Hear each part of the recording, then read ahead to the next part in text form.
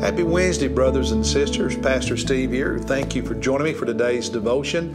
In our Bible reading plan, we are in the book of Psalms, Psalm 69. Psalm 69. So go ahead and open your Bible there. Hopefully, you've already read Psalm 69 and written in your journal what God taught you, what God showed you, what He spoke to you, and how you're going to respond to, how you're going to obey what God showed you um, in Psalm 69, how you're going to put it into practice. I also want to remind you that this coming Sunday, I resume the uh, four week sermon series, What Happens When Jesus Comes Back. When Jesus comes back, the second coming, what is going to happen. We've already looked at two passages in First Thessalonians on that, and starting this Sunday, we'll be in Second Thessalonians chapter 1, if you want to read that in preparation for uh, Sunday morning. Uh, and also in our Bible reading plan, um, we've, we've recently read Thessalonians, so you should be familiar with that passage. All right, Psalm 69. You know, King David seemed to always have enemies people who disliked him people who wanted to kill him people who opposed uh, who opposed him. That was true before he became king. It was true while he had king. He had enemies uh, you know who were personal. Uh, sometimes it was political sometimes it was religious. There were a lot of different reasons some people disliked uh, david.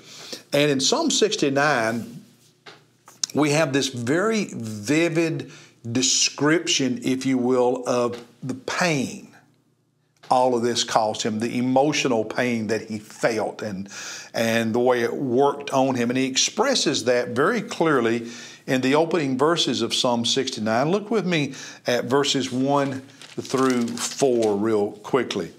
He says, Save me, O God, for the waters have threatened my life. He's using word pictures and analogies to illustrate how he feels because of his opponents.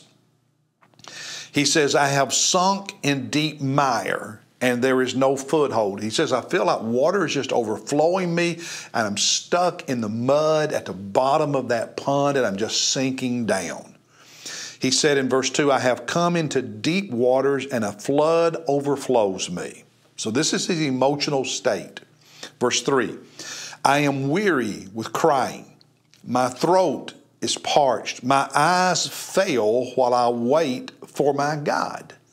Verse 4 Those who hate me without a cause, for no reason, are more than the hairs of my head. Those who would destroy me are powerful, being wrongfully my enemies. I mean, think about what he said. The people who hate him, he said, are more than the hairs on his on his head. Uh, he was just feeling overwhelmed. And you know, when we feel overwhelmed, things can even become exaggerated in our mind. So David, David had enemies and lots of them, but in his mind, it's just it's like a fla- it's like a flash flood, and he's drowning. So, what does he do? Well, in this psalm, he's very honest with God about what he feels. And in verses 13 and following, he prays for God to deliver him. He looks to God and asks for God's help.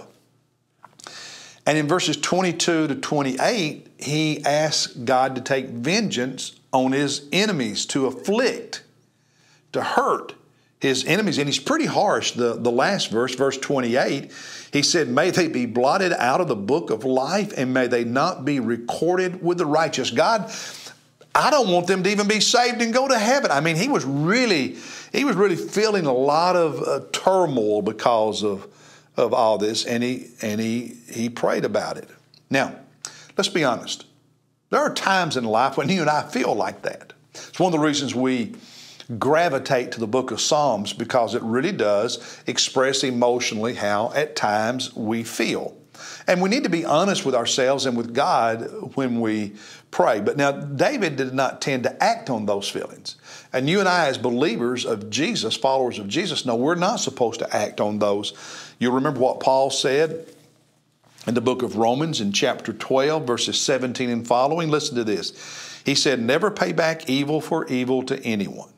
Respect what is right in the sight of all men. If possible, so far as it depends on you, be at peace with all men. Never take your own revenge, beloved, but leave room for the wrath of God. For it is written, Vengeance is mine, I will repay, says the Lord. And, and, and so the idea is that, that we leave that to God. Vengeance is not ours. We, we leave it to God. And David was praying about it. We are not to act on it. He goes on in Romans 12 to say, But if your enemy is hungry, feed him. If he is thirsty, give him a drink. In doing so, you will heap burning coals on his head. Do not be overcome by evil, but overcome evil with good. In other words, leave judgment to God, leave discipline and vengeance and punishment retribution to God. You love and do good to people. You love and do good. Now, it may lead them to repentance, but if not, they will eventually suffer under the hand of God. But you leave that to God. You don't do it. And remember what Jesus said in the Sermon on the Mount in Matthew chapter 5? I want to close with this. Um, Matthew chapter 5, starting at verse uh, 43. Jesus said, You have heard that it was said, You shall love your neighbor and hate your enemy. But I say to you, Jesus, I say to you, love your enemies. Pray for those who persecute you. And Luke, I believe it is, even adds, do good. Do good to those. Okay? And so the Christian ethic is we don't take vengeance, we leave that with God. We do good to those. We serve them, we pray for them, we love them. We forgive them. But we're going to have the emotions that David had. So be honest with yourself and be honest with God. I think that's part of the process of turning that hurt and that anger into love and doing good with pure motives. So be honest and then do good. That's the word for today. I'll be with you tomorrow as we look at Psalm chapter 70.